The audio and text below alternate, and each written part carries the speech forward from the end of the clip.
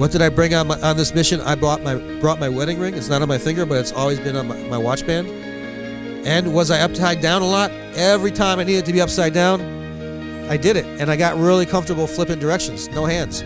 So that's one of the joys about spaceflight. Now that you've set a record of consecutive number of days in space, have you decided to make any changes in your life to get outside as much as possible? I've had an indoor job 24 7 for almost a year, so I am looking forward to being outside no matter what kind of weather.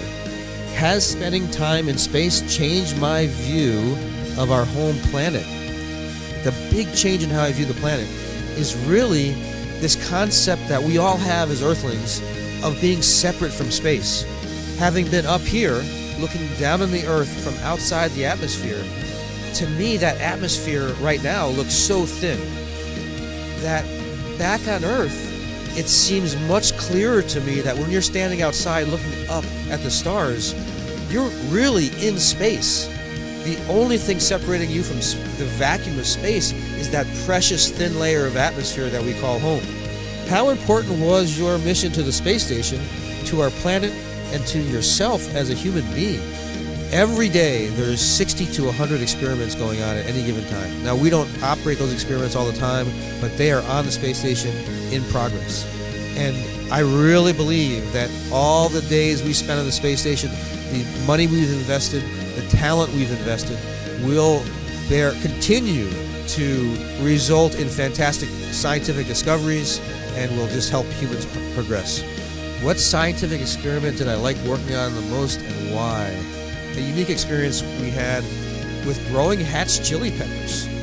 And the reason I liked it so much is because when I opened up that cover and could smell those peppers, it was such a shocking difference. This smell of plants and vegetation, it was amazing. And then we got to eat the peppers. So that was a huge bonus.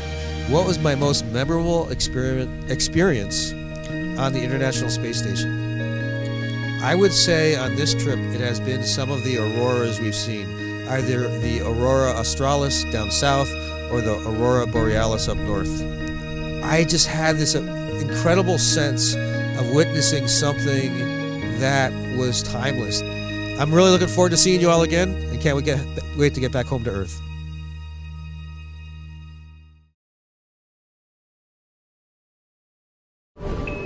Subscribe for more space.